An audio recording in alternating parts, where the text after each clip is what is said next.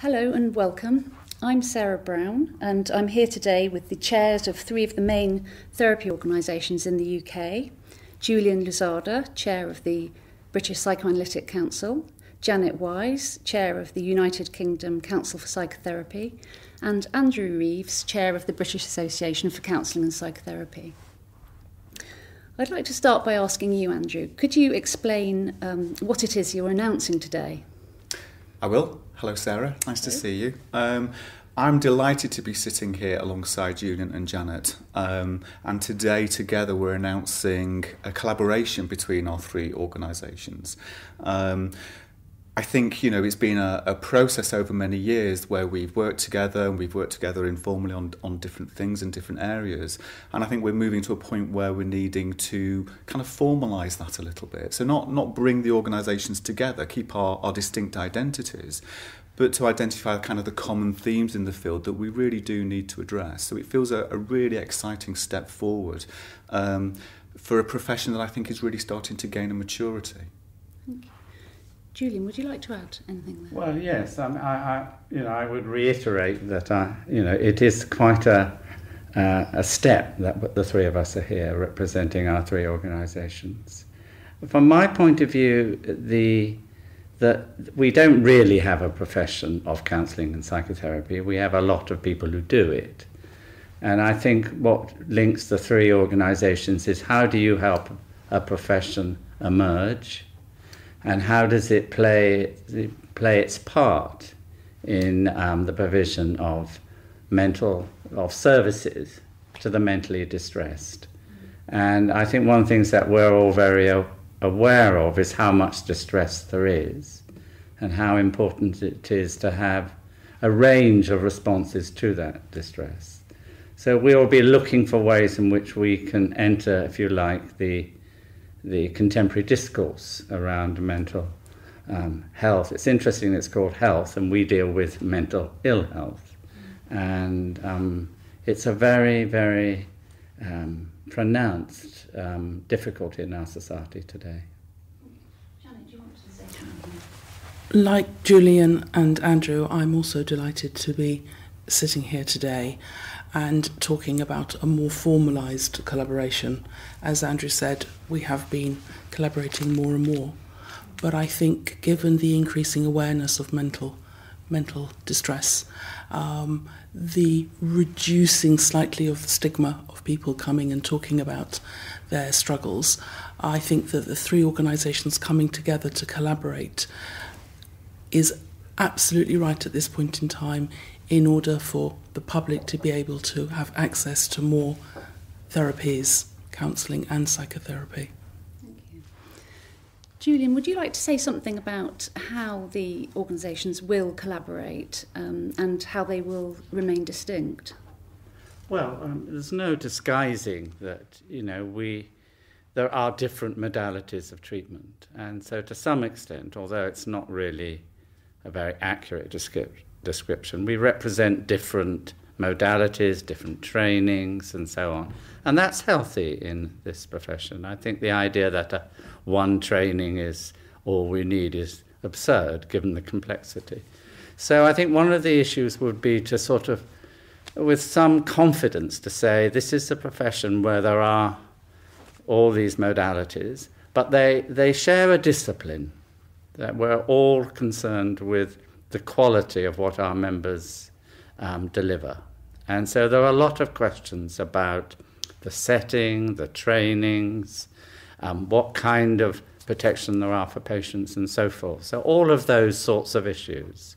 Rather than us each having our own methods, I think increasingly we're trying to find what do we have in common.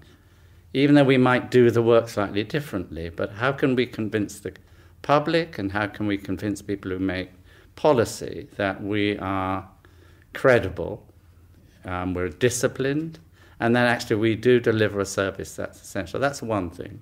The other thing I think is, you know, mental health policy, uh, let alone practice, is highly contested. There is really no agreement about the nature of mental distress. And we think we have a lot to say about what we've learnt about that. And I think our collective voices are likely to be more powerful than our individual ones. Hmm.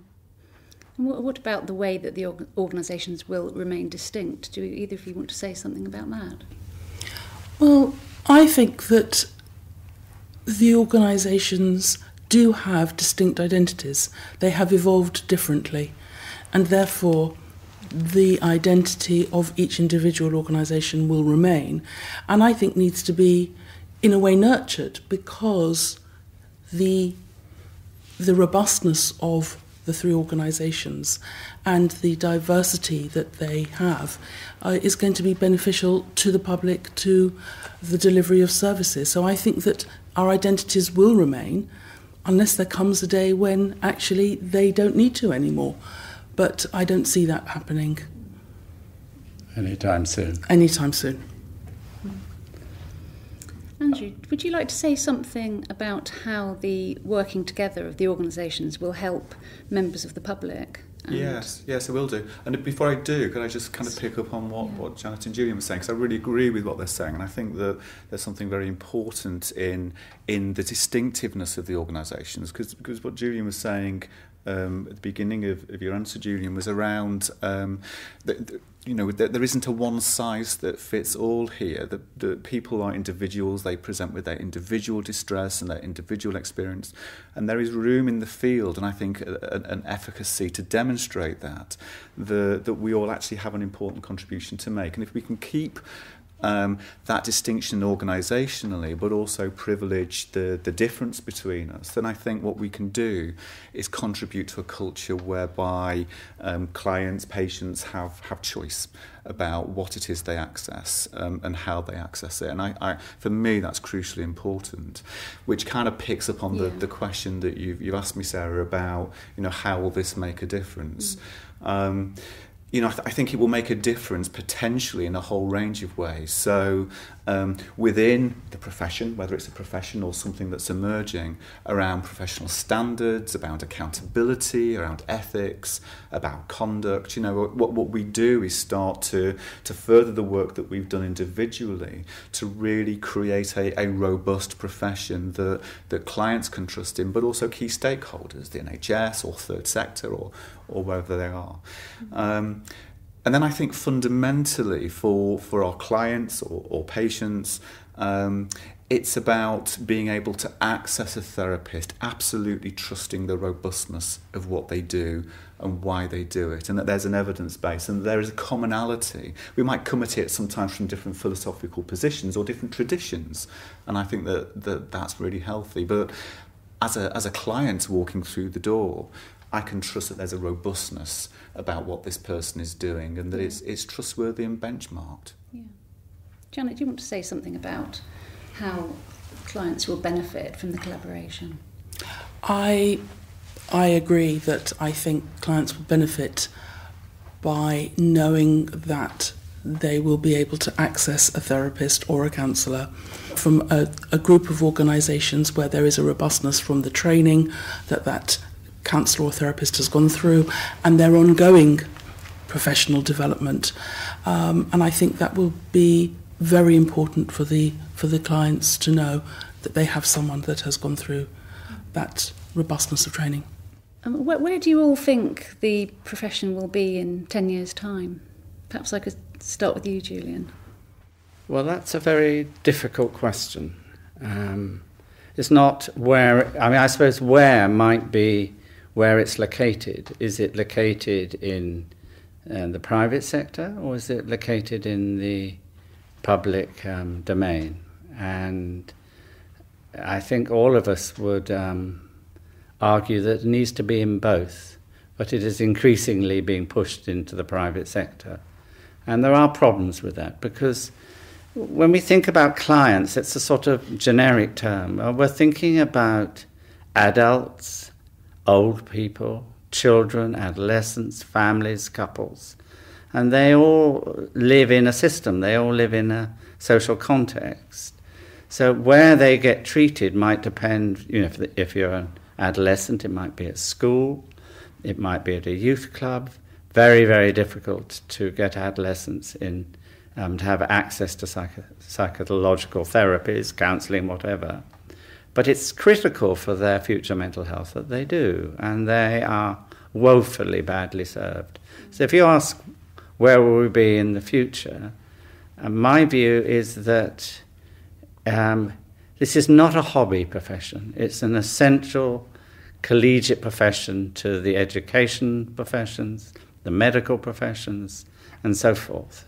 Um, and if we together can sort of press home that debate um, and really influence policy, which frankly we've not done very well, in my judgment. I don't know what my colleagues say. It's not that we've had no successes, but um, we need to be a bit more robust in, in being clear about what sorts of policies we think um, are appropriate and what we can contribute to. I would like the profession and the professionals and mental health to have absolute parity with physical health. I had a personal example recently where I was I was unexpectedly unwell and was in casualty and every part of my body was checked except for my mind. And I just laughed. I thought, ironically, how do you know that this wasn't something psychological? And that is a small example of where I'd like the depression to be five years from now, not 10 years mm, from now. And I think the collaboration between our three organisations will give us a much stronger voice to go out there and say this mental health is as important as physical health. Yeah, I, I, mean, I would I would agree with all of that, and I suppose you can reverse the question and say, you know, where might we be in ten years' time if we weren't collaborating?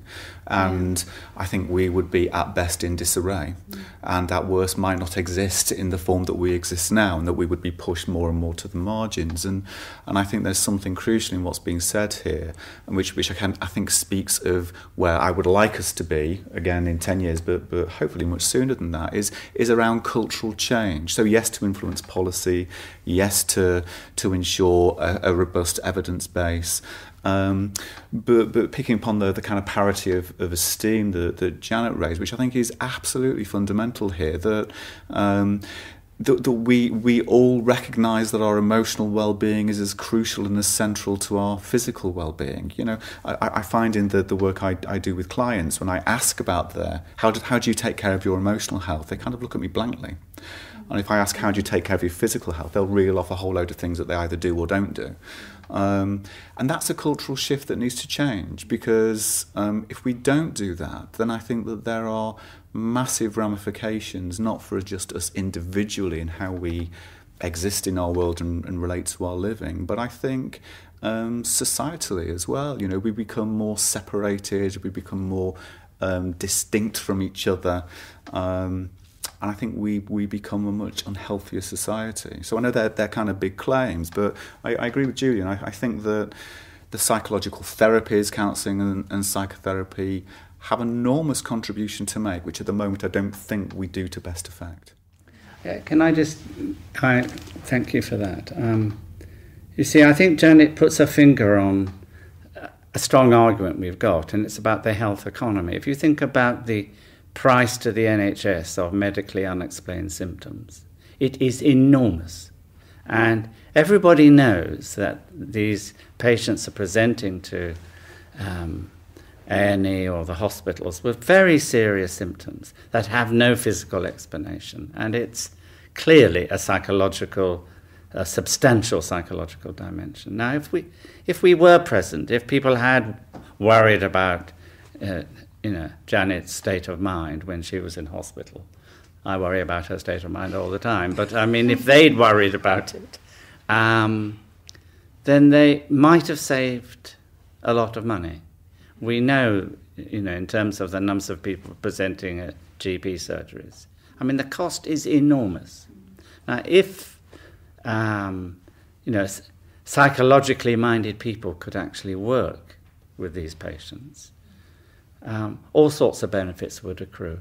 And just picking up on what you were saying there, and I was given an example of when I was in um, A&E, but in primary care, in your GP practice, it is absolutely vital mm.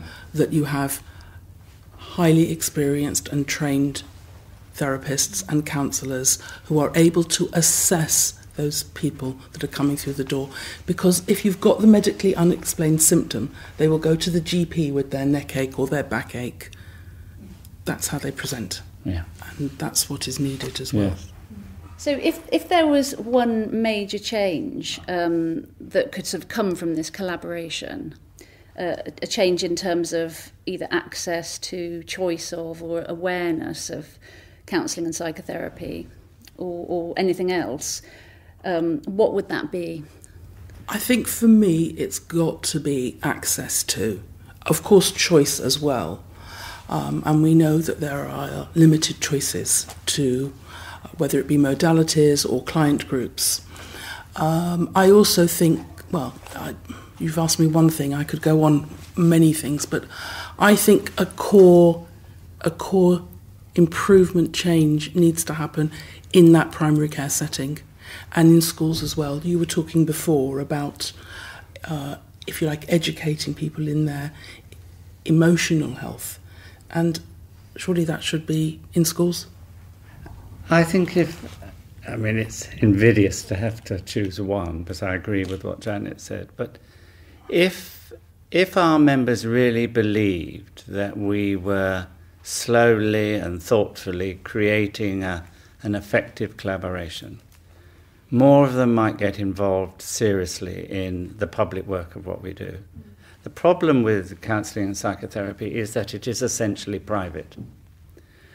But the three of us represent, if you like, a minority of people in our profession who also want to work publicly in the, in the context of development of the service. So one of the things that I hope will happen is, you know, in a period when people don't trust organisations, that they entrust the integrity of our endeavour. You know, I don't want to be immodest, you know, and we've talked about our differences and they will continue and they will be um, engaged with, and that's nothing wrong with that. But I would hope that all of our members would have a look and say, gosh, here's an organization with various parts that we would want to get more active in.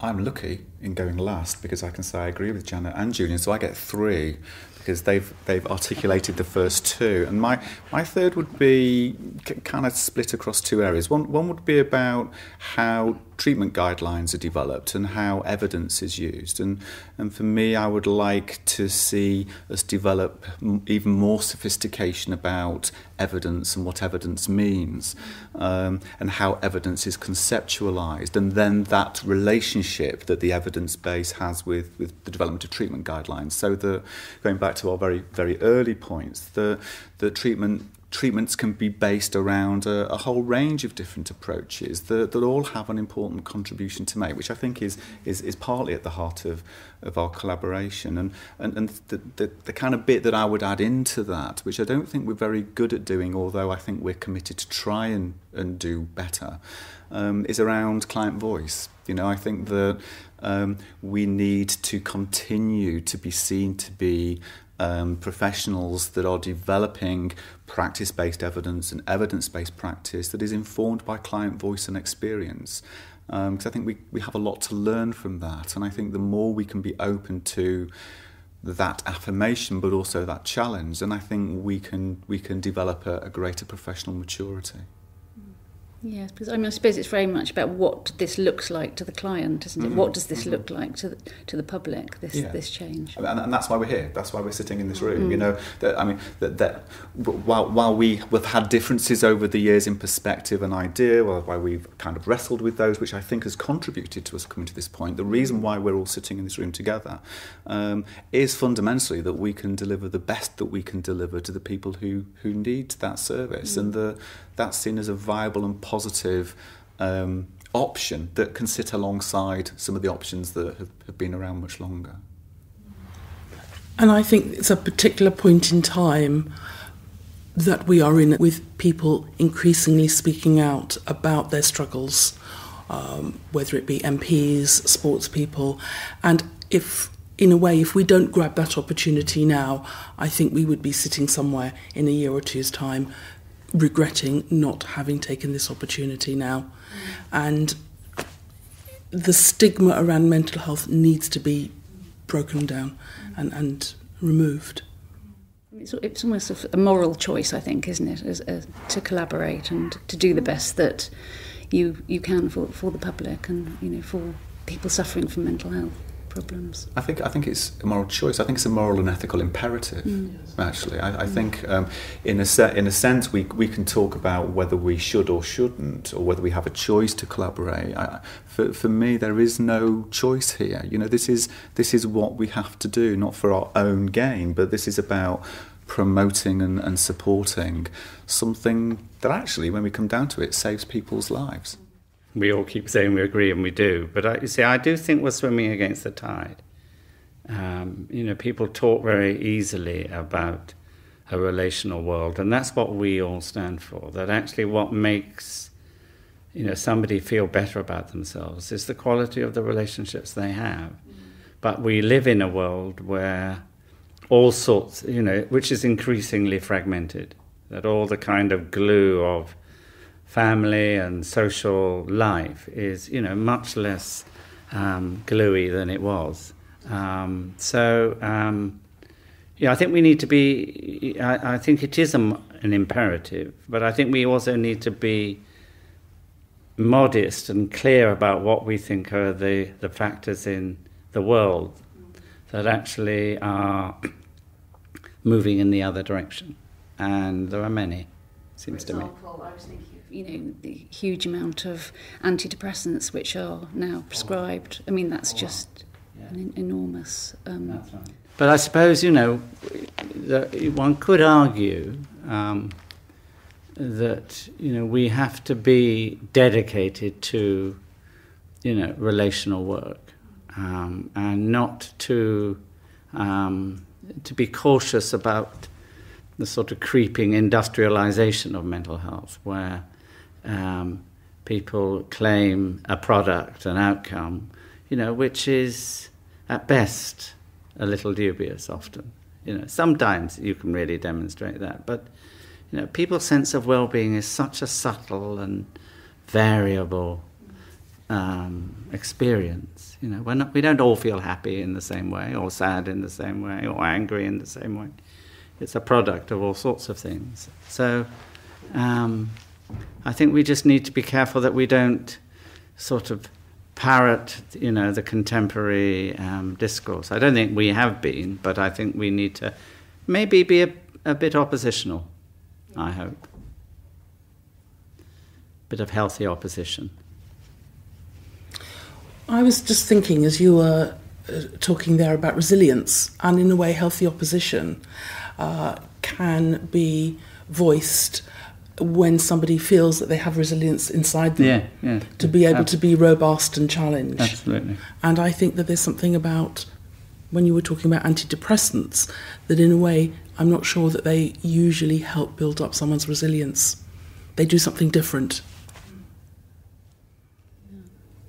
I think they're interesting points around resilience and challenge that we can also take and apply to this collaborative process. The um, you know, it has been a difficult journey at times, and I think there have been real challenges to us, and and I, I think you know it would be very easy to, to to kind of get stuck with those challenges, but I think there is something about um, out of that almost storming type process that that I think we we probably needed to go through. I think there is a, a development of, of resilience. And, you know, collaboration isn't just about us, the three sitting in a room and agreeing with each other. You know, I think it's also about um, the discussions that we've also been having where there are points of difference and, and that we can be challenged and, and we can use that for reflective space. And, you know, I, so I don't think that a process of collaboration is, is going to be always easy or is going to, to just go swimmingly. But I think um, I think there is a commitment across the three organisations to kind of wrestle with that and to to try and make that work. So so it becomes kind of a, a living, developing thing. So, what do you think um, are some of the specific challenges um, that the profession are facing at the moment, Janet? I think some of the challenges the profession faces at the moment are around the reduction in the services for mental health services, both in primary and secondary care. Um, I think that alongside of that, with an increase in awareness of mental health and ill health, to have a reduction in services creates a deep imbalance. We know that people suffer and struggle with um, mental mental issues, and I think that there is a long way to go in improving access to to waiting times and to the choice of therapies and for the different client groups. I, think one of the big challenges is that we have a reputation for being you know, dominated by sort of, if it's not out of date now, sort of middle class issues with middle class um, professionals. Um, and I think we haven't done enough to demonstrate that we're interested in, you know, in working class people's lives. So, but not only working class, but people who suffer you know, from racism or homophobia or ageism or sexism, that we haven't um, done enough to say that we understand that there's a, a mental health consequence to that lived experience. So I think we need, we've got quite a lot to do to say that we're, we're relevant, not in some generalized way to well-being or happiness, but actually we know that some um, parts of life are damn tough the unemployed, for example.